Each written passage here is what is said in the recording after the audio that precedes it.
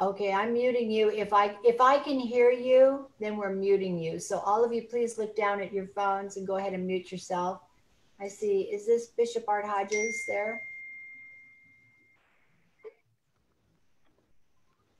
Yes, I'm here. Okay, awesome. Okay, well, we are live on Facebook. That's very exciting. So I want to say hello to everybody and thank you for joining us. Let's see if I can make this work here. Back to gallery view. Uh, speaker view. Okay, so hopefully you can see me live. Can you, or, or large? Can you see me large when I speak? Yes, no, you can't? Yes. You can, okay.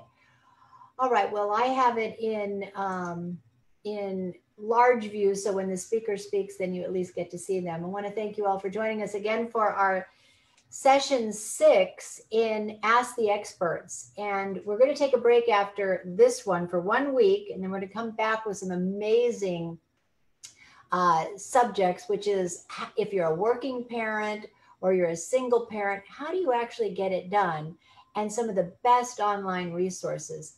So I want to just thank you again for all for joining us. And we have an exciting lineup. This subject today is our testimonials from from uh, parents and from educators who have actually homeschooled. And I am one of them, but I'm going to defer to some of our experts today. If you have any questions, uh, please look at the chat box down below and go ahead and enter your, your questions in there. We'll get to you. But if you hit that little button that says raise your hand, if you can find that at the bottom, then we'll actually let you ask that question uh, live to our experts. And so with that, we are going to open up in prayer. And since Bishop Art Hodges has joined us today, we'll defer to him to open us in prayer. Bishop Art? Certainly. Lord God, we thank you for this wonderful day, for being our creator. We thank you, God, that you are our source of all of our resource. And we thank you, Lord, that you operate in the realm of the supernatural, that what is impossible with man is absolutely possible with you. And we're asking now for that divine help, Christ, as we try to save a generation to turn America back to you. I'm asking your blessing on this meeting that the ideas shared will be from not only experience, but wisdom from heaven, Christ, because truly we know all education starts with the fear of the Lord. That's the beginning of all knowledge. We ask your blessing on this session together. In Jesus' name, we give you all praise and glory. Amen and amen. Amen and amen is right.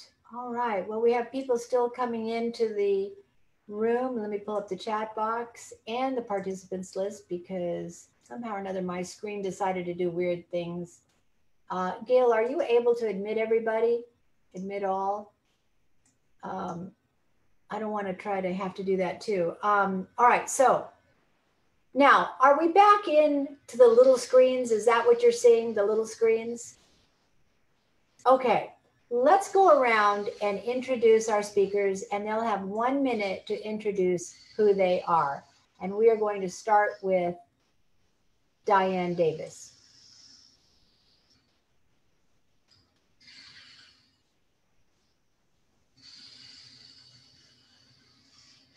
I think you have to unmute yourself. There. I'm Dr. Diane Davis. I am the Dean of Aletheia Christian College I have homeschooled for one year, had a Christian school for 12 years, oh, more than that.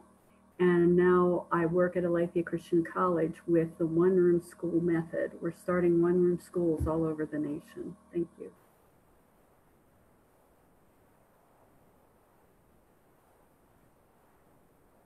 You're muted, Dran. Unmute. Okay, thank you. Not a perfect science. Okay, I would like to introduce uh, our new speaker. I'm so excited about him joining us today.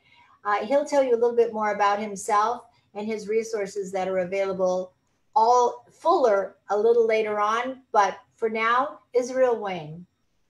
Yeah, I have a little bit different perspective because I actually grew up grew up being homeschooled as a student. My mother was one of the founding pioneers of the homeschooling movement. She started homeschooling my older sister in 1978, so that was over 40 years ago.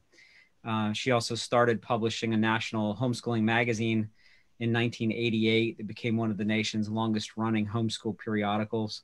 So she was an author and conference speaker back in the 80s and 90s and 2000s on, on homeschooling. I actually um, started working as uh, marketing director for her publication in 1993. Started speaking at homeschooling conferences in 1995. I wrote my first homeschooling book in 2000. My wife was also homeschooled. Her family started homeschooling in 1983. We live in Southwest Michigan. We have 10 children, ages 20 down to 18, and we have always homeschooled all of our children. Uh, and then I also work on a, lot of other levels too. I'm vice president of the Michigan State Homeschool Association and have been advisory council for the National Alliance of Christian Home Education Leadership and a lot of other things. But I'm, I'm pretty entrenched in the homeschooling movement. Uh, and I'm somewhere between chronically and terminally homeschooled, I think. Awesome. Well, that sounds exciting. We're so happy that you're here. That's exciting to to have someone who's actually been homeschooled and is doing it themselves. So we have a lot to learn from you, and we really appreciate you being here. Okay, so let's see. Uh, Donna Train. All right, I think I'm unmuted. Can you hear me? Yes.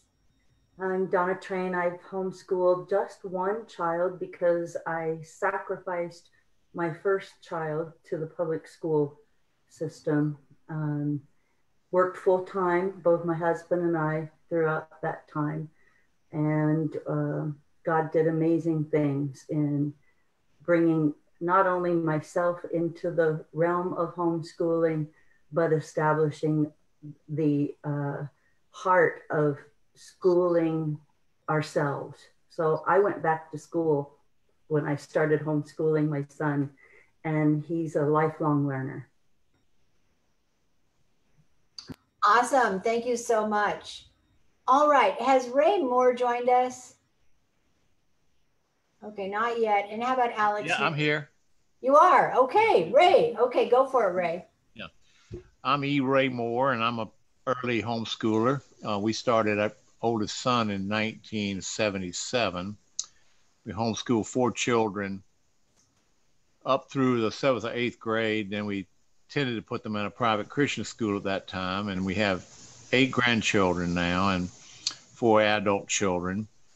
And the uh, grandchildren were homeschooled for a good bit, but then now their mothers are teaching at a Christian school, so they had to enroll them. So we've had a long history with this movement, and uh, we've seen it grow, and we're living in kind of a magic moment right now, and uh, we're going to take advantage of the of the time because as Jesus said in John nine four, work while it is today, for the night comes when no man can work. Thank you, Ray, and he is the chairman of the uh, public school exit. Chairman of the board. All right, Max Lyons is also someone who we we had hoped to be here last week, when we were talking about curriculum, but he's here this week, and so he'll be able to give us an overview. Max Lyons. Hi, everybody. I'm Max Lyons. I'm the Director of Teaching Services at the Foundation for American Christian Education. Been here for seven years in this position, 38 years in Christian schools, including 19 years at Stonebridge School uh, as an administrator. Uh, my wife and I taught our four children over 25 years using the principle approach methodology that we advocate here at FACE. And um, just uh, this moment, FACE is doing all we can to uh, help home educators, uh, help those in schools, help we're starting schools. Uh, just trained 150 teachers a couple weeks ago here at FACE. I'm online. We've got an international ministry, so working with uh, folks in Brazil and and uh, Colombia and and um, Uganda and Australia, kind of all, all over the world. So uh, uh, happy to be a part of the movement right now, and there's there's enough work for us all to do. But uh, I'm glad to see see us all in the work together. We all got a, a piece of piece of the action here, and I think it's a God moment that we can really um, capitalize on a lot of people interested in both homeschooling and Christian education that, that weren't previously. Some of them kind of, it wasn't their choice, but uh, so uh, Thanks. Thanks for being with us in, in this effort. Love being part of the team. Well, we sure love having you, Max. We're so glad to that you've connected with us at this Zoom meeting. Uh, I have to say that I've learned so much from this organization through Ray Moore, through Max Lyons, through Israel, that there's there's one layer deeper, and that is the principle approach, which is what he, uh, which, which which is what we we think is really the best educational system of all. Uh, and from what I have understood from Max Lyons is and and through the group is that basically you start your kids right off reading and writing. You don't do fill in the blank books. You don't spend time dumbing your kids down. You get them to think critically right away.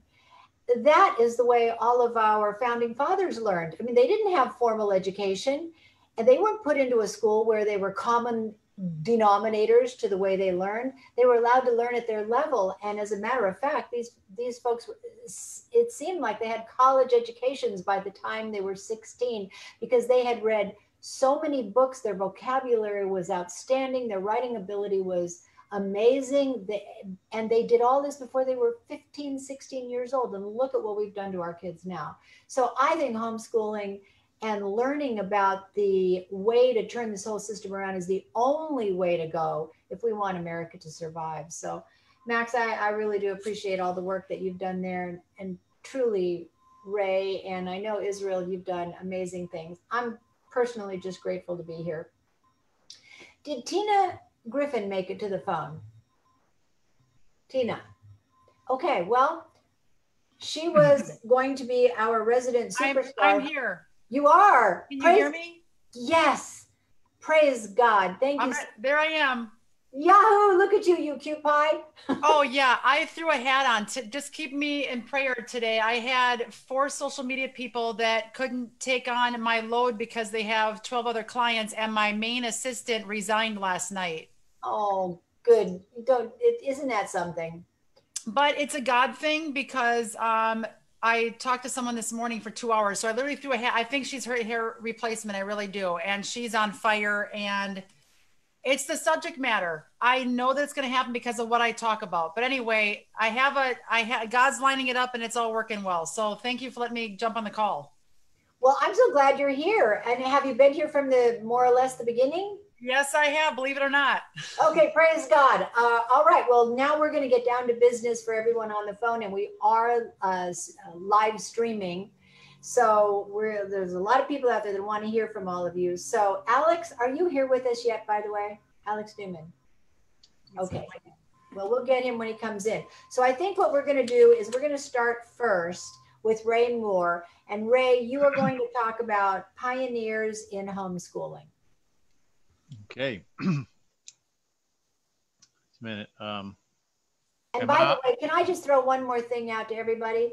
If you're not speaking, and especially our speakers, go ahead and mute yourself so I don't have to.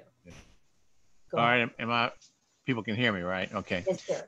Yeah, we were indeed pioneers. Uh, before the pioneers, we started in '77. Didn't know another homeschool family for four or five years it was pretty daunting in those days, and a lot of our friends uh, thought we had flipped out. And honestly, we weren't sure ourselves that we hadn't flipped out, but we did it one year at a time. And right away, we knew we had discovered something incomprehensibly wonderful for our children and for the family. So we kept it up. We homeschooled four children. Um, and we we had a schoolroom in the house um, they they we actually had a separate room where they would go and do their work. Gail would instruct them. She did 80% of it. I did Bible and history, and then she taught them to read. And it's a wonderful thing uh, for a mother, and, and most of you have never thought about this, our father, to teach their children to read. You can close your eyes and go back and see your first and second grade teacher today. If you're 76 years old, I can close my eye and I can see my first and second grade teacher was in a public school, but the one who taught me to read. And so when a mother or father teaches their little child to read, you create a, a double bonding in the family. Um, I mean, not that you should need it, but it creates an endearment. Uh, you always love the person who taught you to read. So that was one thing that we discovered very early uh, in our pioneer experience. There weren't many books, things to read in those days, and we came across one book. It's called Sketches of Jewish Social Life, and I actually have it. Maybe on a break, I can get it and hold it up in another room. But it was a book looking at the Jewish and Christian community in the times of Christ when he was a child. And apparently, homeschooling was the model for the synagogues. And we thought, well, if Jesus was homeschooled, maybe we could do it. So we had to, you know, look around. We had to create our own curriculum. Uh, we did use Abeka and Bob Jones, but we had to get the books from a Christian school when they were discarded and got new books. Uh, Bob Jones and Abeka weren't initially willing to sell to us because they saw homeschooling. What what is that? It was so weird and different. But after a few years of pestering them, they finally relented and they so, sold the books uh, directly to us. So finding a good curriculum is a very important step. And we've talked about this. It's, it seems to be extremely important step when you're getting started. And it is important to have a good curriculum, a Christian curriculum. But after a time, you may find yourself experimenting and not bound by any one thing, even though I am also, along with Adran, a hearty supporter of the principle approach. And I might add that we use their books. We found those books early in our homeschool experience, and we use the big red books to teach our children history and the Constitution and America's Christian history. So uh, it, it's uh, it, it's actually a, a, good testimony. Our children have are now 49, 43, 41, and 38. They're all walking with the Lord. They have married well. They have good Christian spouses, and uh, they're raising our eight grandchildren in the church and in the ways of the Lord. And uh, at 76, uh, I can really say, like John in the third epistle of John, he said, I have no greater joy than that my children walk in truth. So you're young now, you may just be getting started, but let me tell you, when you get old, you don't want to go to your grave, and I'm not ready there to go there yet, sorrowing over wayward children that you didn't raise in the church and in the ways of the Lord. So that's a quick overview of our life. Uh, we homeschooled about 30 years uh, and, you know, off and on, uh, or had them in private Christian schools. So we, our family was formed, our children through homeschooling and private Christian schools. Hope I didn't take too long on that. Well, that was wonderful. Thank you, Ray. I would like to go to Israel Wayne now because this whole idea of managing 10 kids uh, kind of blew my mind. I watch TV, the 19 kids and counting, and other things like that. I just don't know how they did that. So tell us all how it works. Well, it's ironic that uh, homeschooling 10 children is not as uh, difficult as what a lot of people think that it is. And the reason for that is that God doesn't just drop 10 children into your home all at once. Mm-hmm. Uh, I actually know that the hardest season for us as parents was when we had a six year old, a four year old, a two year old, and a baby. We were maxed out. That was that was critical mass for us. That was that was tipping point. And what was interesting was when we had five children, it actually started to get easier. And so it is way, way easier for us now as parents of 10 children uh, than it was uh, for us having four young ones. You know, I think when that's just the most difficult stage because you're completely outnumbered and those little ones are not contributors. Uh, they create chaos and they they demand uh, full-time attention but as the children get older and they're able to take care of themselves and then to be able to uh, contribute in some way you know whether that's just folding laundry or emptying the dishwasher or whatever um, you find that that the, the balance starts to tip and it becomes easier. So like right now um, we have a 20 year old we have four teenagers uh, we have a couple tweeners. And so now we're like totally winning at life um, because you know we, we have all this help. So I sometimes tell these moms who have say three little ones at home and they feel overwhelmed and just think, oh, yeah, I can't picture having another child. I say, well, what if you know what if you had four teenagers or three teenagers who went to your house every day and were willing to help you homeschool the younger ones to help with the chores to be able to watch them so you could you know run to the grocery store for a minute if you had to and and and you knew that the, these young people were trustworthy because you had trained them you know their whole lives and and they had your dna uh, w- would that be helpful for you? You know if you had two or three four children children older children that could help uh, be responsible and, and help lift the burden on that front and they go wow that's just amazing. I can't even fathom what that would look like. And i say well that's kind of what, what our life is like now. So um, so, so I think that that concept that people have usually when they feel very overwhelmed, they think of of having you know three little ones and then multiplying that by by three and a third, and uh, it, it doesn't work out that way. Um, but the other thing that we do that makes it helpful is that we teach some of them some of the subjects we actually teach as classes with bunches um, where we teach in groups. So history and science are a couple that we do that where we'll take say three students or four students or sometimes even five depending on the the levels and we will um, read aloud for history and then they'll each have workbooks that are kind of at their own development level. But um, we we try to teach those as classes. So that helps a little bit. Um, i'm actually teaching this year three classes myself for, for our high schoolers. I'm teaching economics um, christian apologetics and logic. So I'm as a dad teaching those three subjects this year, which is really fun, and I'm enjoying that. So it's a blast. It's a real uh, privilege. It's an honor. It's a blessing to for us to be able to teach our own children. I want to ask you about that. Now, are you uh, a, a, professor in economics, or are you getting the teacher's manual? How's that working out?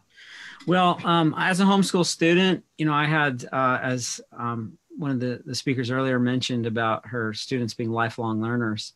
Um, I, I, was raised to become a lifelong lifelong learner, and so I've continued to study throughout my entire adult life. And so I'm not credentialed in those particular subjects, uh, but I have studied them exhaustively and extensively.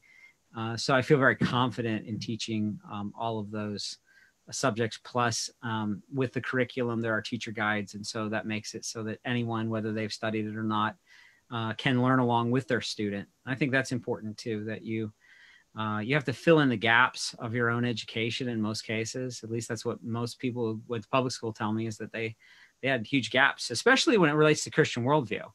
You know you start studying things like american constitution or free market economics or christian apologetics defending the christian faith. You know those are not things even logic that you're taught in most government schools. And so you know you have to learn that yourself. And homeschooling is a great way to do that. You can uh, be a student along with your students. And as long as you have a teacher guide that that really helps you um, well, one thing that encouraged me years and years ago that i think this was even before i had children uh, related to homeschooling was I talked to a public school teacher who taught math. And uh, I just asked him, I said something like, So you must have been really good at math as a student, or you really liked math, or if you're to be a math teacher. He said, No, not really. It's just a job. I said, "Oh, really?" Uh, I said, "So, but but you know a lot about math?" And he said, "No, not really." He said, "I've forgotten almost everything I studied." He said, "Basically, my goal is I just try to stay about four days ahead of my students I go through the teacher's guides and I stay about four days ahead of my students. And as long as I'm four days ahead, it, it all works out. And that stuck in my mind. And I thought, you know, if a public school teacher can say that and admit to that, um, really, then that should should give us as homeschoolers a lot of comfort, and that we don't have to be experts in all of these fields. I mean, this guy's admitting he's not, uh, and he makes a living at it. He gets paid to do it for a living, he's just trying to stay four days ahead of him with a teacher's guide. And so I, I think a lot of parents may feel that they're inadequate, but they can do what he's doing. I mean, that's what's what a lot of students are going to get in the public school. So the, the benefit to the home environment is you have somebody who actually cares. Uh, and not to say public school teachers don't care. There are many, many, many public school teachers who do care about students.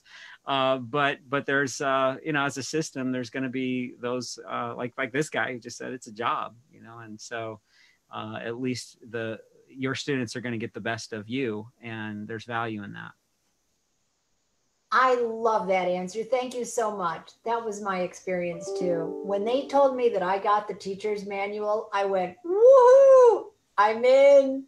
And I got to learn history all over again and review math.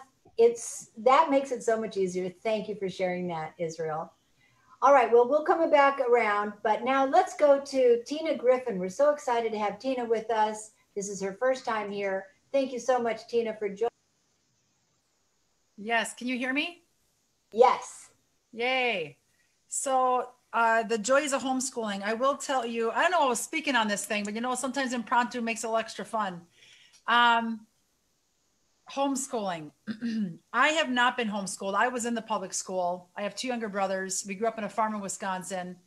Um, became a believer at 16 but I was the one in public school that was trying to get Youth Alive started, which took me two years to get a Christian club on campus. Had I known my rights now, then it would have taken me about two hours to get that club started on campus.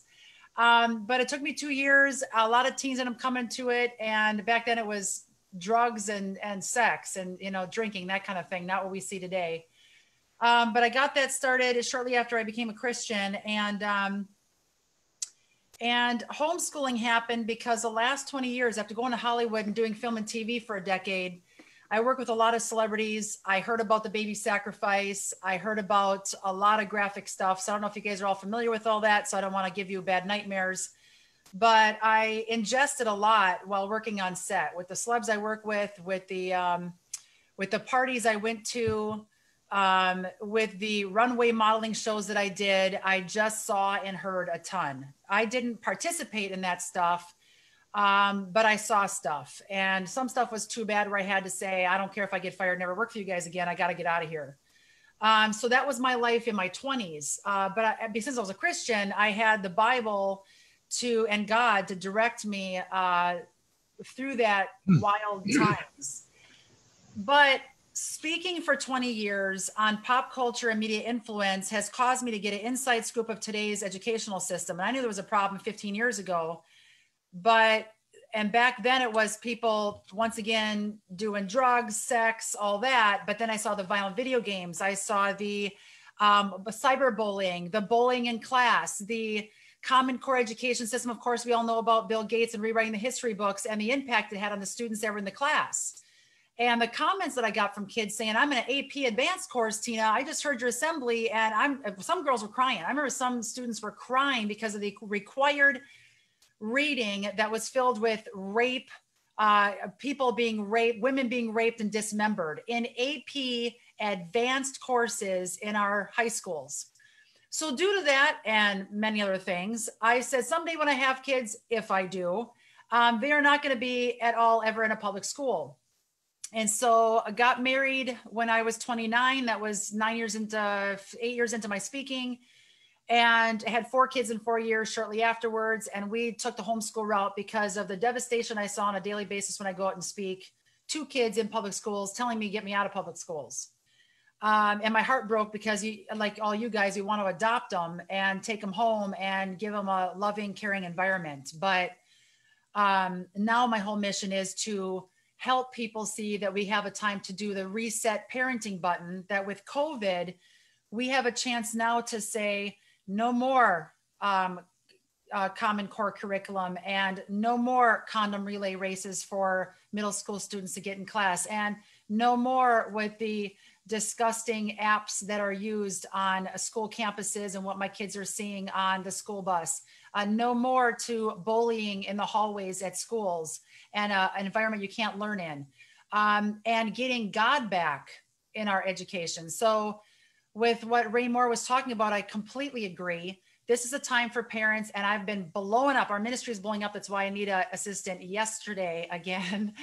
Um, is because we get hundreds of emails a day, messages a day. My text message has 400 unanswered texts of parents saying, um, now that we're homeschooling our kids, or now that they've been home for four months, we're seeing the public school curriculum on their iPads. What the heck? Where have I been? And so it's given us a chance to say, yes, follow our app, get, you know, download our app, get our tips, um, homeschool your children. It's possible. We're running programs now on YouTube with Heidi St. John and some other people. Just because parents that thought they never homeschool were forced to do so and realize it's really not that bad. And the biggest thing I think it was over the years is parents not wanting to give up their free playtime, honestly, and have a free babysitter and have to deal with raising their own kids. I, I think that uh, the typical parent can do it. They just didn't want to do it. And um, now that they see what's happened to their kids as a result, they're trying to win back the time they lost, which is a great reason for us to keep pushing the message out there with homeschool as being a great option. And churches need to open their doors, not just for Sunday service, but for during the week when teachers who are sick of the curriculum they're being forced to teach can teach the children in the churches. There are easy solutions with buildings that, that don't even have to be built and funding for 17 years doesn't have to come in. We have churches. Where are we in the 11th hour and 59th minute? Rapture is around the corner, not joking, or we're going to die for our faith around the corner. So we have to get these parents to realize and pastors to realize we need to pull our kids out, get them in a church related school or homeschool, and get them a curriculum that's God based and get them fired up and ready for what's to come. Um, and that's about it. Wow. You are awesome, Tina. We are so excited to have you on this call. Thank you, thank you, thank you for joining us. Yes, no worries. Great, great information. And um, I hope that we continue to do a lot of work together because we're going to double team this. I think because of where you were going with this, I'm going to jump to Bishop Art Hodges for a moment because Bishop Art Hodges is on the board of the Salt and Light Council and on Public School Exit as one of our advisors as well. And so, Bishop Art, um, let me go ahead and unmute you. Are you there? Uh, Bishop Art, can you? Uh... Yes, I'm here. Okay, well, I'd like for you to share with them what is your new path in answering all of these questions that Tina just brought up about the involvement of the church and what the church can do. Yeah, thank you very much. So uh, let me go back just really quickly. Let me go back, uh, what, 35 years ago?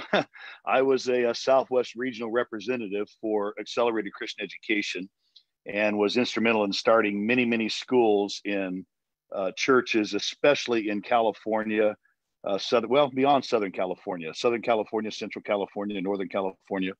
Uh, so that goes way, way, way back. Uh, I've been pastoring now 36 years as senior pastor and and I and I oversee now uh, 235 pastors in Southern California as bishop. Uh, but the primary church I pastor, my mother church, South Bay Pentecostal Church in San Diego, has had a Christian school for more than 40 years now. And uh, we began ACE, we moved to Abeka for younger ages, and more recently we moved to um, for up through grade three, and to uh, Switched-On Schoolhouse, which became Ignitia for for the uh, older grades. So with the uh, pandemic and the shutdowns and all of that, towards the end of the school year, um, our school was forced to, you know, go off campus back into homes. That was not a big problem because most of the students already were utilizing online resources, uh, their textbooks, et cetera, et cetera. But what we're doing now, we are right now launching, I mean, we're literally in the middle of launching a brand new path. Uh, the name of our Christian school is called South Bay Christian Academy. And so we are about to launch America's Christian Academy, America's Christian Academy. And this is going to be a nationwide, worldwide endeavor uh, that we will administrate here. But I mean, the sky is the limit. And so basically, it'll be a resource for both homeschoolers if you need resources. We've got a complete Christian based curriculum. Christianity, uh, the Bible is in every subject. I mean, it's absolutely uh, Christian based. Um, and, and so uh, uh, we're launching that America's Christian Academy. Um, and then it's also for those that want to get out of the public school and, and maybe they can't fully, you know, homeschool. They don't have the resources, the time, the whatever. Uh, we can come alongside and provide that that avenue. And then it's also for those that are uh, maybe have been in, in, Christian or private school and their schools are shut down. They don't know how they're addressing this. So we're excited about that. We'll keep you informed, Dran, and you can get it out to everybody in the network there. But uh, look for it. Uh, we're about to about to go public with this uh, America's Christian Academy. I wanted to share Bishop Art Hodges with everyone to let you know that the pastors are coming on board. So at publicschoolexit.com, under school options, we have a special section for any church that is ready to engage in being a homeschool co-op or a membership association or a variety of other things. We have, so please use the resources there and we will be doing more specifically even for pastors in churches in the coming weeks so that you can understand how to how to make this transition. It's not that hard and you don't have to necessarily become what bishop art hodges has already been for the last 30 years a physical school where you have to impact you know traffic statements for your local community uh, and all the rules and regulations that come along with being an actual school but you can do a variety of forms right from your church. That's very exciting. All right, I would like to go now to Max Lyons. Max. Okay, uh, well, uh, I just uh, give you a little bit of information on what we do here at FACE. Our um, a lot of people are not familiar with us. It's sort of a it's a small movement at this point, but um, we are advocating for um, biblical a education consists of three parts a philosophy a curriculum and a methodology. The philosophy is why you do what you do. Curriculum is uh, what you use and the methodology is how you use it. So we are involved in all th- three of those aspects both uh, for education in the broadest sense of the word. So k through 12 for sure but um, college uh, in the home, in the church, uh, adult education we're involved in, and uh, basically we we have curricular items um, that we can we can help you with, um, but we also, more importantly, that we advocate for a biblical uh, method of education. So the principle approach, in short, is a method that um, goes back to um, basically the, the Hebrew methods of education. Uh, so if you go back, you know, I mean, we've been doing education a long time, right? This is not something that's new. And actually, the the best practices or the things that work the best in education are not new. They're not secretive. They're not something that we've invented, although we have a kind of a way that we've systemized systematized it and help people through it that way but um, it's really advocating for biblical methods of education. So, for example, just a couple things that uh, we help people uh, to implement is in studying, you know, history and government and economics, the, the humanities. We uh, we advocate for going back to primary sources rather than using secondary sources. So rather than workbooks and textbooks, etc. Uh, and we do use some textbooks. We we have students go back to the original writings. And most of us recognize that's probably the richest way and the most pure way to study something anyway. Um, but we've kind of systematized it and enable people to do that right from little children, um, you know, using age appropriate, you know, age appropriate, appropriate material, but from little children all, all the way up through high school, you know, using primary sources. And then, uh, for instance, in um, you know, Israel uh, mentioned logic and apologetics. Uh, you know, we advocate for thinking and reasoning and, and uh, testing, um, you know, writing compositions and writing essays instead of using, uh, you know, what we refer to as Dewey's methods, you know, the methods of the progressives that came in the, you know, in the last century, you know, fill in the blank, multiple choice, matching, uh, true, false, etc. So it's just, you know, it's um, going deeper, as Dran said, and uh, really going back to the, the old paths, going back to the biblical methods that, again, have been around a long time. Classical education actually embodies a lot of this as well. Uh, and uh, FACE helps individual homeschoolers with this. We help schools implement it. We're actually, in uh, we're actually involved with helping start schools. We have a school planting package. Uh, uh, Bishop Hodges mentioned ACE. We've we've actually have a ACE school at the moment that's transitioning from ACE program to principle approach after 55 years. So, um, we can we, we can help you. I encourage you to reach out to FACE if we can help you in with either your homeschooling or your Christian school, or maybe you want to get something going in your church. My wife and I years ago uh, started teaching in our, our Sunday school class in our church and implementing principle approach methodology there and up writing a curriculum because this is this is not something just for K through 12. This is a this is a way of life. It's something for for all of us, no matter what our what our age or no matter what the setting that we're working in. We can all do biblical education. We all need to be doing biblical education because uh, that's what's going to get us out of this mess. And it's, of course, it's going to be for the long haul, right? We all, I think we all know that it's not something we're going to turn around and fix overnight because it's taken us hundreds of years to get into this mess. And it's you know, we pray for God to speed it up so it doesn't take hundreds of years. but uh, it's going to take a shorter period of time if if all of us uh, that recognize that there's a problem, you know, get in the trenches and work together. And and uh, so again, I'm thankful to be part of the team. Uh, I'm thankful to be part of CEI Christian Education Initiative, 22 organizations working together, all for the cause of biblical worldview education. Thank you so much, Max. Uh, and boy, it would be amazing if Bishop Art Hodges and you had an opportunity to get together. And I love what you did, Max, is that you put on tours of your school and you give uh, teachers and pastors a broad overview of the type of education.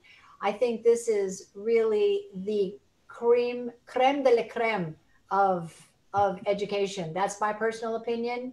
Uh, and I think really everything you do is so amazing and i'm grateful for the work that you do and for ray introducing us so thank you thank you Dran. okay now gail levin do you want to make an announcement and i'm going to also at the same time share my screen so gail levin yeah, hi everybody. Um, okay, so on our Facebook page, we have a, um, uh, a post here, and you can share your homeschool stories. So it says, did you homeschool? What were or are the results? Share it here. And so we hope that if you have something that you want everybody to know, go ahead and use this page. As well, there is a share button on the, on the um, Facebook post as well. So you can share it with other people through your own Facebook page or through your own organizations. Thank you, Dran. Thank you so much. And also you can see that we are live on Facebook. And if you're looking at my little mouse there, you can see it going around as we're talking. So I'm going to stop the share, but you can also watch yourself on Facebook as you're speaking. Let me stop the share. Thank you so much, Gail. I also wanted to thank Gail Levin and Terry Barnes, who are part of the Salt and Light Council and uh, help to make sure that this goes smoothly and we're just so grateful. Okay, and now let's go just real briefly to Donna Train for your uh, homeschooling experience. Donna. Yes, thank you, Jan. I just want to encourage parents that are struggling possibly with the idea of homeschooling and both of you work. God orchestrated an amazing series of events to convince myself, especially, my husband wasn't as involved, um, with the ability to be able to homeschool. I had been a volunteer at my son's public school for uh, from kindergarten through fifth grade is when God brought together these events. I had actually been working full time as a hairdresser, and the um, administration of the school asked that I would possibly consider being the volunteer coordinator for the school. And I, of course, didn't think I had time, but I took it to the Lord and said, Lord, if you want me to have that job, if you want me to be there, have me shine in the interview. And if it's not your will, have me stink. And so I interviewed for the job. 20 minutes after the interview, they called and offered me the job. And as some of you may be aware, public school will say how many hours something is involved.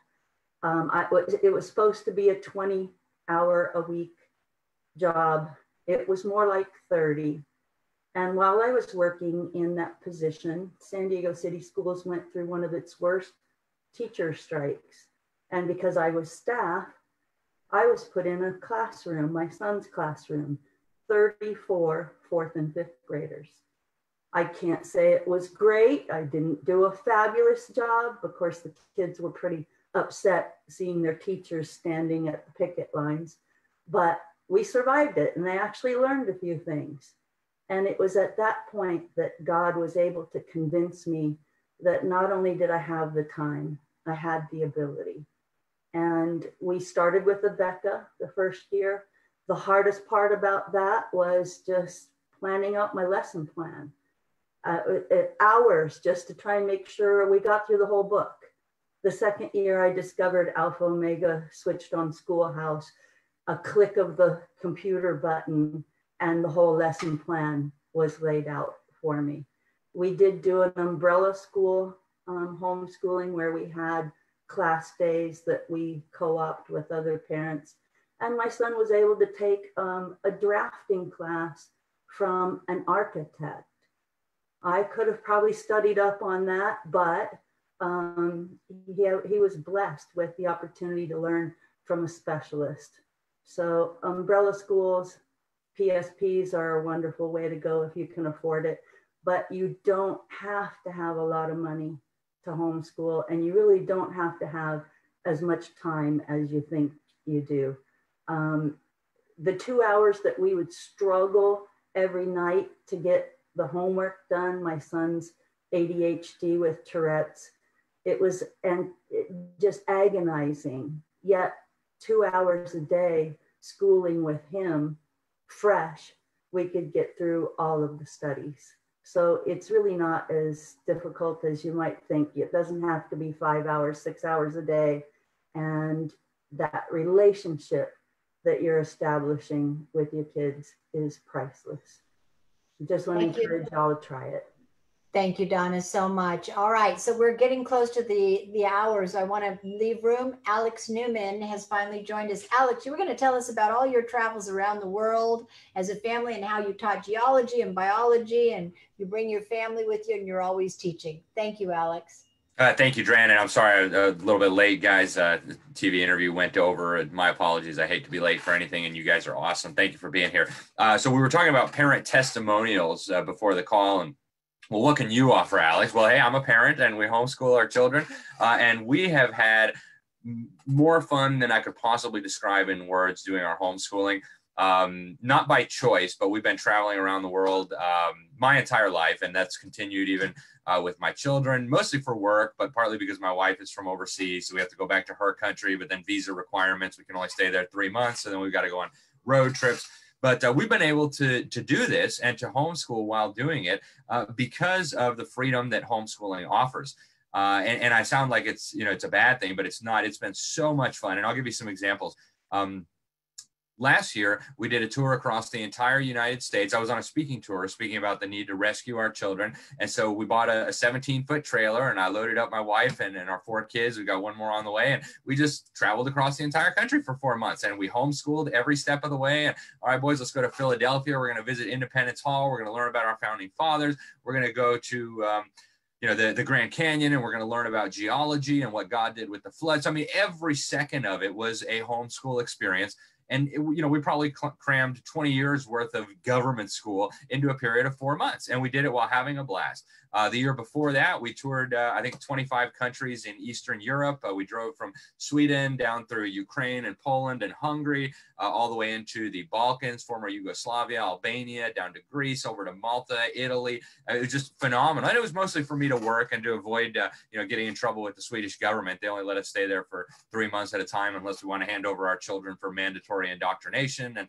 a lot of my my income so we did that and, and i interviewed people and you know we, we did homeschooling all along. So we, you know we learned about european history and we learned about what wars and so we went to uh, sarajevo and learned about archduke uh, ferdinand and, and his killing and uh, you know we, to vienna and, and the austro-hungarian empire. I mean it's just a never ending the world is your oyster. I know it's so cliche but when you're homeschooling the world is really your oyster. And in this age of coronavirus, when all our jobs, are say, hey, you, you work from home, you know, we're going to save money on the office building or whatever. It's a perfect time for you to get your children out of the system uh, and enjoy freedom and enjoy your children. And it's so it's just, uh, you know, brief testimony. I, I can't explain how much fun it's been. My wife would echo that, and my children too. You know, my oldest, oh man, I'm not going to see my friends for a while. But you should have seen the smile on his face. You know, this you're going to see all this amazing stuff and um, you know it's, it's just amazing. And it's only because we were homeschooling that it was possible and uh, so, you know, I just I can't recommend it highly enough. I, I, think it's like I said, it's the second best decision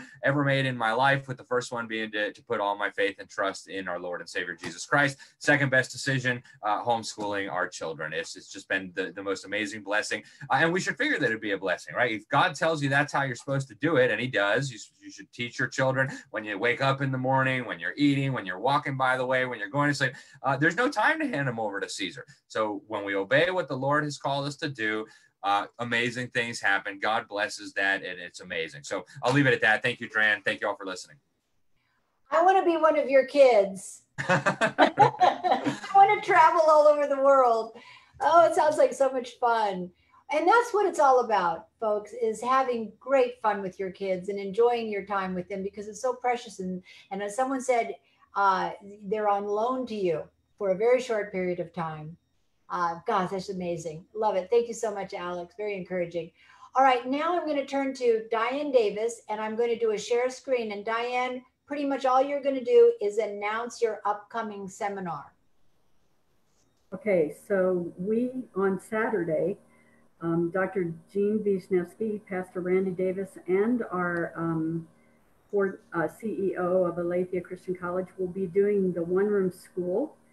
And we are going to be doing, I've been praying and asking the Lord to lead. And so I will be doing a seminar on the seven biblical principles of the principle approach as Max Lyons. And it's going to be um, from an aspect of how do you teach your children or teach a classroom? How do you manage a classroom that is biblically based? And then we'll be doing many other things. You can see Dran just circled down. Uh, get on, it's free. Please register to um, be on the Zoom call. It's two hours on Saturday. Thank you. Thank you, Diane. And I'm just showing you here on the website, there's multiple ways to get in to register register for it, either here at the bottom on the homepage or as you're watching the banner scroll around, these are our ask. There it is, one room school. Okay. You, so now, oh, thank you. Thank you so much. All right. Well, we're uh, pretty close. To, we are pretty close to the end of the hour, but I want to give some of our special guests, and we have three brand new ones with us today here on the phone. Pretty much the uh, final word, and I'm so excited about them sharing their experiences. And I'd like to first go to Israel Wayne, then we're going to go to Tina Griffin, and then to Max Lyons. There are three special guests for today. So Israel, um, you have we have about five minutes left. So uh, for all three of you, so uh, if you could go ahead and encourage the parents. Sure. I mentioned in the uh, Zoom chat, if you want to go there for a direct link, um, that I have a book that's called Answers for Homeschooling The Top 25 Questions Critics Ask and it really does deal with all the questions. Um, what about socialization? How do you choose a curriculum? What about the legal aspects? What about being salt and light in the public schools? Am I qualified to do this? What about high school? What about sports? What about public school at home programs? I, I answer all every conceivable question is basically answered in this book. And I just got permission from the publisher to make the PDF of this available for free exclusively on my website. So if you just follow the link that's in the, the group chat, you can go there and snag a free PDF this week only. So just run over there and grab it. But I think that'll be a great encouragement to you to help you, especially if you're new. Um, if you've been homeschooling for a little bit longer and you want something that's a little more challenging, um, this book is called uh, Education Does God Have an Opinion? And it is a really thorough uh, biblical philosophy of education book that talks about how to teach every academic subject from a specifically biblical perspective. So, how do you teach math or language arts or history or science or geography from a biblical worldview? Uh, and then also just developing a biblical framework for what does God say about education? What does the Bible teach about education? A very comprehensive book. Uh, this is for sale at my website. So my website's familyrenewal.org. We would love to have you join us there and also connect with us on social media. You can just look me up, Israel Wayne. I'm on every every social media platform there is. So look up Family Renewal, which is my ministry, or Israel Wayne. If you have any questions for me directly, uh, Facebook's probably the best way to private message me. Uh, if you do that, if you just want to email me or something, you can go to our website, familyrenewal.org, and send us a note from there. I'm grateful to be here. This is so much fun, and and of course, you know, some of my favorite people in the world are also on here. So this is a lot of fun. It is a lot of fun. I enjoy it too. Israel, let me ask you a question. If there was a parent uh, or a uh, or a pastor who needed your expertise, can they, in a way, hire you? I mean, I'm sure hire you, and then you would be available to guide them through the process. Absolutely, because we'd love I to do that. that I do too. I think that's what we need a lot is some, you know, babying through the process and people, experts like you, amazing. Max Lyons, amazing. Alex Newman, amazing. So I think for all of you out there, even though all the resources on publicschoolexit.com are free and you can puzzle it out yourself, you know, you could pop for a little money and get an expert and just have them baby you through the whole thing. That's something that I would do. so thank you so much for that. Israel. Tina Griffin. Tina, are you there? Did I'm you right here. Sorry, I forgot that I muted myself. I'm not used to doing that. um, I have a quick question. There's a share screen on the bottom. I hit that, right? I don't want to mess up something tech wise for you guys. Will you be able to see my screen if I hit that? Uh, no, because I'm the only one with the ability. But if you can tell me where to go, and then you can just tell me what to click on, I'll do it. Oh yeah, perfect. Well, can I just put it in the chat feature really quick? Yeah, put it in there. Sure. Okay, here's one link I want to share with the parents. And because I was like, I don't want to do something illegal here, and then there's a you, you don't get a hold of it. I think that's it. I hope. Okay. Let me. Yes, praise the Lord, because I do a lot of research on bad stuff and I don't want something bad to fly up on the screen. Okay. so do you want me to put this link up on the screen? Yes, that'd be perfect. That one and I have one more, but we'll talk oh, about wait. this first quick. Hold on. Control C. Yep. Control.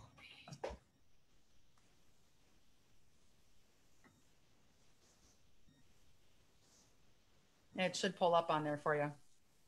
There we go. And if you want to, you can stay on this for two seconds and then we can go down a little bit. Um, but this is our brand new app. We just launched it two weeks ago for parents tuning in. Now, the kids are typically in classroom for 40 hours, but they're watching media for 70. And so uh, they really are impacted by what they're doing on Snapchat. We got TikTok with the communist uh, agenda, with them gathering all our personal info. Um, we've got a lot of info like the tro- the giggling uh, poppy troll doll that just hit and got millions of views from one mom with uh, how gross that doll was with uh, body parts in the bottom that you touch and it makes uh, disgusting noises, sexual noises. This is hitting five, six, seven year old kids. So besides just the education aspect we got from the school system, we got the education aspect coming from pop culture. So if you download our app and you can scroll down a little bit more there, uh, it's free. It's Counterculture Mom app. It's free. We do have a premium section for three bucks a month, but that just helps cover the 15 team of writers that we have that pump out the content. Um, and that way you guys know ahead of time what is trying to influence your kids for the negative and get tons of positive entertainment options we have as well. On the bottom, you can also sign up on that link, which is in the comment section. It's also a free parent media guide. We have thousands of entertainment uh, options in there that are clean so if you have to throw a load of laundry in, your kids are watching uh, a certain program on PureFlix, you know you're going to be just fine uh, for 20, 30 minutes, or if you're cooking a meal. So um, we have that free media guide that has positive comedians in it. It has uh, positive video games, a whole list of video games, um, series, TV series that are great. Um, we got apps that are safe, but then also help helpful tip lines, like if uh, someone's suicidal, depressed, all that kind of stuff. We have that in there as well. The other link I was going to send you, and we can, uh, I'll probably, will probably have to come out of that one in order to go to the next one, um, is this ordeal that we have set up for parents right here this summer. Copy, and here it is. and you can copy that. Um, this is our store special that we have going on right now. And it's not all about selling product, but if you're asking what's going to help you guys and you want to know more info, after 20 years of speaking out about pop culture, the parent chat book, my friend Matt McKee, Why Re- Rewrite Something That's Fantastic, that book is phenomenal talking about technology. What do you allow in your home? When are your kids ready for it? Um, what are some great guidelines when you have tech in the home as far as not bringing the iPhone to the table, um, tablet uh, time, downtime at bedtime, how to set up all your tech gadgets in your home, where each kid, depending on how old they are, have different guidelines. You can set that up. All that is discussed. I love it in parent chat. And then, of course, the top product up there that we have is a summer survival pack. That one's been our special throughout the summer. People are getting that one and they love it. There's $110 worth of stuff in there for 69 bucks.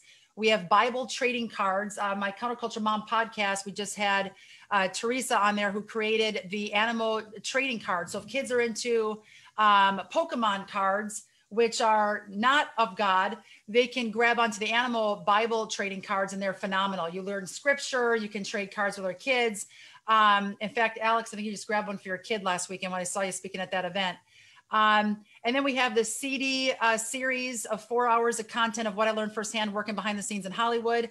Teens have been texting me saying, I never listen to tracks and not video. I checked it out. I love it.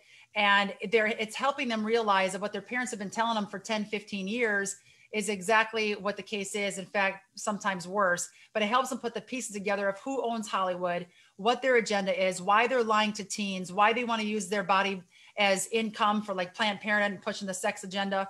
But the kids love it because it helps them say, I don't want to be lied to any longer. And kids are being on fire, being the witness God created them to be at 14, 15, 16 years old because they have the dirt to then share with their friends instead of saying, come to church, it's great. Well, now we don't have that option. Um, but it's scripture based. Um, that is backed up with evidence that I've seen firsthand in Hollywood. the last thing on there is the rock and roll DVD three hour um, DVD series. It's phenomenal. That DVD changed my life when I was 20. The older version, they have an updated version now there. And it caused me to see who celebrities are primarily working for, which is Satan and his agenda. But when teens watch that, their lives are changed. They literally make better, wiser choices in entertainment with what they watch because they don't want to be living and believing and supporting a lie. So those are some things that we that a lot of parents love and give us great feedback on. But I'm here, counterculturemom.com. We got the Counterculture Mom app. You definitely want to download the app. It's great. And um, and uh, it come. I think if you go, yeah, you could probably come out of the screen now. I can show them. That's the website. You can download the app, and you can also download the free parent media guide there. But um, the resources we have on there are far and wide. And I would say get the app over social media because I'm constantly in Facebook jail. Like I just got out and I'm probably going back in within days. So a lot of censorship happening here because the enemy wants to shut us up. But uh, yeah, and check out the podcast. So if I can help you in any way, please message me through Facebook. I will see it and get back to you. Thank you so much, Tina. That was amazing. Yes. Thank you for doing all that for all the moms out there. Uh, we'll keep you busy as much as we can, for sure. Sounds good. all right, and um, let's see, Max Lyons.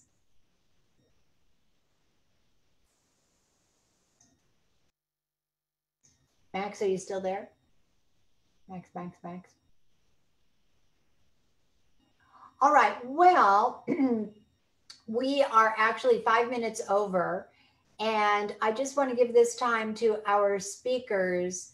Uh, one last word before we jump off the phone. Any one of our speakers? I would just say to parents who are on the fence about this that no one loves your children more than you do. No one knows them better than you. And you get to have a window of opportunity for influence. You know influence is largely determined by time. Um, it's a bit of an overgeneralization but for the most part whoever spends the most time with your children will have the most influence. And for most parents that's not them by default because they have given their children over to the media they've given their children over to the schools they've given their children over to friends and sports teams and peer groups and all of that and they cannot be the most influential person in their child's life because they don't have access to them. Uh, they just don't have enough time. But you have an opportunity to invest yourself in your child's life. And you know, I have never heard later in life, you know, parents saying, I just wish I would have spent less time with my kids. I know nobody says that, but I've heard thousands and thousands of parents with regret saying, I just wish I would have spent more time with my kids. So this is um, a decision that obviously is going to cause some life change. It'll cause you to have to reorient uh, and and realign some things and change some priorities. But I just don't think you will ever regret giving your child the best of yourself. And um, God doesn't call us to do something and then fail to equip us. So it's not all about you and what you're capable of doing. It's about you finding a new reliance on God in a way that you haven't before and Him doing great things through you. And uh, so I just strongly encourage you. I, I think sometimes we know the right thing to do, and we just talk ourselves out of it and we give a hundred excuses of why it's not practical and why we can't afford it and why we don't have enough time and so on. And i think this is just one of those things that's too important to talk ourselves out of it. I, I think uh, our children need us and um, i don't think you'll ever regret it. Thank you so much israel. That was great. Anyone I'll else? Just, I'll just say uh, quick little snippet. The time factor for me, I'm like, how am I going to save America and America's kids if I'm schooling my own? But God's like, seriously, you're going to put your kids in the altar for the sake of the mission I gave you. You have to live out what you're actually preaching. I'm like, thanks for the reminder every every week. So if you think you're short on time and can't fit it all in, what we've done with our kids, I homeschool. I got four kids, 11, 9, 8, and 7. And um, I'm surprised I remember that. Most of the time I forget how many kids I have or how old they are. And I don't have 10 kids. I don't know how you guys do it um, as I get them busy doing the stuff that I would typically be doing. If I'm folding the laundry and it usually takes me two hours and I have, I do two laundry days a month. That's it. People think I'm nuts. I just bought more clean underwear and I just wash the clothes twice a month. That way my mind is focused just on that, those days of laundry and I get the kids involved. That's our give back day of the home. And then we order groceries together or we'll, well, I'll teach them about the math of how to save, which one's cheaper per ounce. And we do the actual, um, duties that I would typically just be stuck doing, thinking, how am I cram all this in? I get the four kids busy doing it. And then I'm like a military sergeant in the home. I have a cleaning chart in the wall. I give each kids every single day one bigger task. Every day they have the same tasks, and then one bigger task every day, and they all tackle it. And then we have a little money system. I think it's called Green Card, where um, we give them an allowance every single month and they have to give some to a missionary they've got to give some back to the church and they can spend some and save some. And so that is like a weekly little thing where they get to earn the money that they're doing. They're not just doing the chores for free some of them they are but the harder jobs they're not. Um, but then we save money too because our lawn guy typically would be 80 bucks. We said goodbye to him and we give our son $10 so we save money and our son gets to earn 10 bucks. So the jobs that you do by yourself, figure out a way to divide them up among all your kids. And that way they're learning how to actually run their own home someday as well uh, with clean laundry, a nice, freshly cut lawn, and dinner on the table. I love all those stories. You reminded me too. I, I bought a, a fake checkbook, a little uh, you know, a child's checkbook, and I put $500 in it. And I told them, you have $500 to spend through the entire year. And that's for birthday gifts, for grandparent gifts, for parents' gifts. And uh, you have to keep the tabulation. You have to know how much money you have. And it's also for tithing to the church. It's also, I got both of my kids right away to shop sales. they were always saving money. And then what we did is we also taught them investment. So they also had with this checkbook the ability to invest. And then I took them and showed them about how to buy stocks and bonds. And then we helped them do that. That is so hilarious. It's we do hilarious. stocks too. It stocks too with our 11 year old. He loves it. Look how much money I made. I'm like, don't look this fall. I love it. I would actually love it if all of you would send us pictures of your different chore charts and charts that you had. I actually kept my chart and it's outside of the garage somewhere. I'd love to pull that out, take a picture of it, and show you what we did. But we had chore charts. They did Monday through through you know through uh, Saturday, everything they were supposed to do during the day. And if they didn't do it, we had another box where they had a job they had to do around the house, and they helped me write out the jobs: sweep the patio, uh, clean the pool, uh, you know, wash the dog. It was a whole pile of them, and they hated when they had to, and they would they would close their eyes and they'd swirl it around, and they'd have to pick out uh, their punishment for not doing just their regular jobs. And regular jobs you don't reward them for right. because then you're teaching your kids that, you know, a reward based system. No, if you don't do your job, you take something away or you give them a punishment. And that's actually teaching them to honor responsibilities as a child within the family. At least that's what we did. So all parents get to make up these fun little projects with their families. I think it's greatly creative and an enjoyment. But what we did is if a kid didn't do their chore, another kid could do it and they would get their allowance. So we had competition. I'm, I'm making sure I get my stuff done because you're not taking my cash. So That's great. Money talks. All right. That's so awesome, Dina. Thank you so much for sharing. Uh, Alex Newman or Ray Moore, would you like to share one last word? I would just tell people, you know, echo everything that Israel said and that Tina said. You know, there there's no better decision other than your salvation that uh, that you could possibly make. Your children uh, are one of your highest duties while you're here on this earth. God gave you clear instructions. Go read Israel's book. Um, I read Israel's book. I, I, reviewed it. It was incredible. It, it really uh, just clarified my thinking on this. I already kind of had a sense of that from my own reading of scripture, but when he puts it all together in one book, it's undeniable. Go read the book and you'll see that God has actually called you to do this. It's not like one of those things where you have liberty, like, oh, maybe I could put my kids in Caesar's brainwash camps or I could homeschool. It, it doesn't work that way. So uh, you must do it, guys. You just must do it, and you got to share the word with other people. Got to tell tell your friends, tell your pastor. Uh, we've got to get the word out. Our children are absolutely precious. To let the world poison their minds uh, is is unconscionable. We've got to stop it. So do the right thing, folks. Thank you, and God bless.